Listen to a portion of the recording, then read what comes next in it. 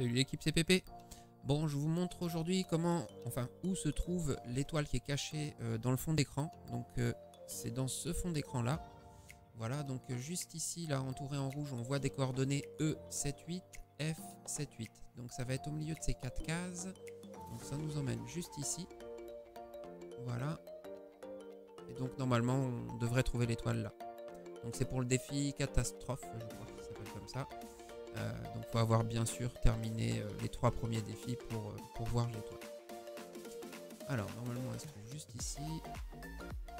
Voilà l'endroit où il n'y a pas de où il n'y a pas d'herbe. Il devrait y avoir l'étoile. Et là voilà. Allez j'espère que ça vous sera utile. Et je vous dis à jeudi prochain. Ciao tout le monde